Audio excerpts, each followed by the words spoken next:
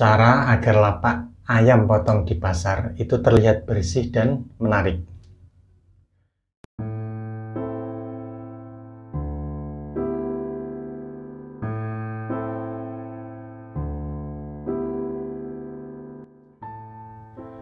Assalamualaikum warahmatullahi wabarakatuh.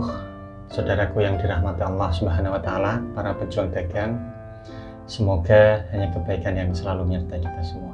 Amin amin. Ya rabbal. Nah, di video kemarin sudah saya bahas nih tentang bagaimana cara meningkatkan kualitas usaha ayam potong dan agar terlihat berkualitas. Nah, maka di kesempatan kali ini saya akan bahas ya, bagaimana agar lapak ayam potong di pasar itu terlihat bersih dan menarik. Ya, calon pembeli itu agar mau mampir dan membeli di lapak usaha Anda.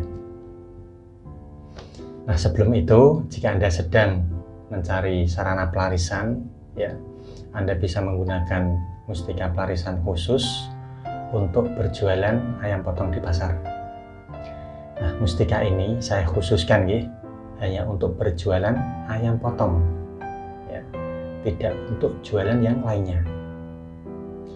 Dan hanya bisa digunakan ya, bisa digunakan di pasar. Ya. Tidak bisa di tempat yang lain. Ya. Jadi energinya itu lebih fokus ya.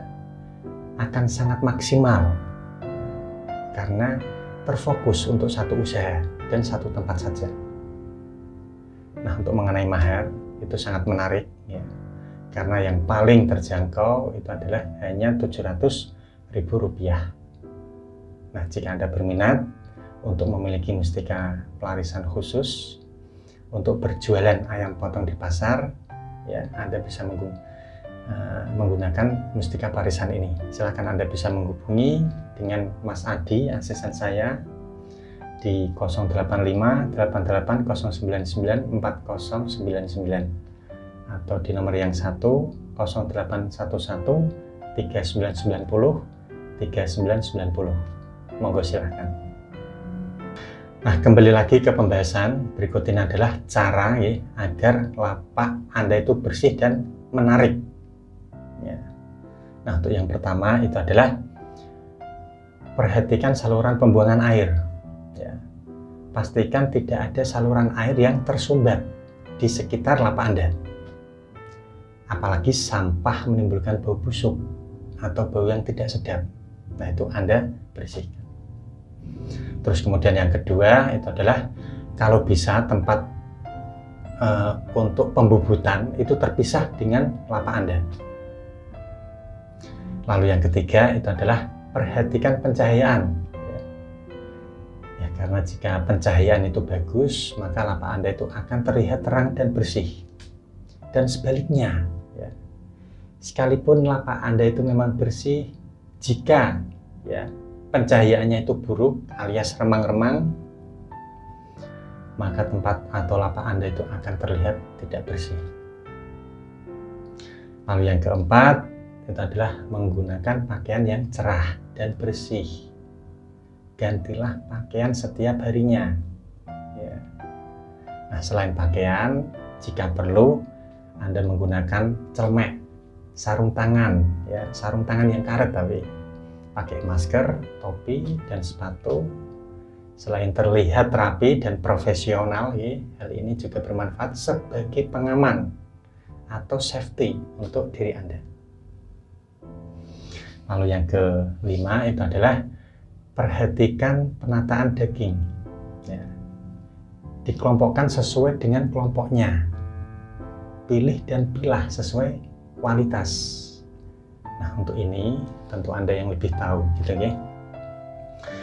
Terus kemudian yang keenam itu adalah perhatikan tempat pembuangan sampah Anda harus tertutup. Nah jika perlu pisah ya antara sampah basah dan sampah kering. Lalu yang ketujuh itu adalah sebisa mungkin hindari berdekatan dengan lapak yang jorok. Ya karena sedikit banyak ya, jika Anda berdekatan dengan lapak yang kurang memperhatikan kebersihan, nantinya itu lapak Anda akan terkena imbasnya. Dan masih banyak uh, cara yang lainnya agar lapak Anda itu terlihat bersih dan menarik. Ya, dalam hal ini saya tentu ya bukan ahli dalam tata ruang atau kebersihan, ya. Tapi saya itu berharap berharap dengan Anda adanya video ini itu Anda tersadar anda tersadar bahwa kebersihan lapak jualan ayam potong Anda di pasar ya, itu sangatlah penting dan berpengaruh untuk kemajuan usaha Anda ini. Nah, kurang lebihnya seperti itu untuk penjelasan saya mengenai penyebab cara agar lapak ayam potong di pasar terlihat bersih dan menarik. Semoga bermanfaat untuk Anda semua.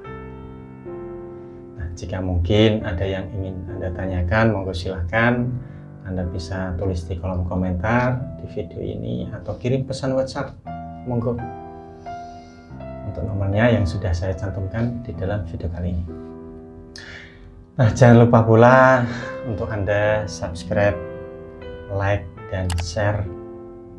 Tekan tombol lonceng notifikasinya di channel ini ya. Karena masih ada banyak video yang menarik yang sayang untuk Anda lewatkan.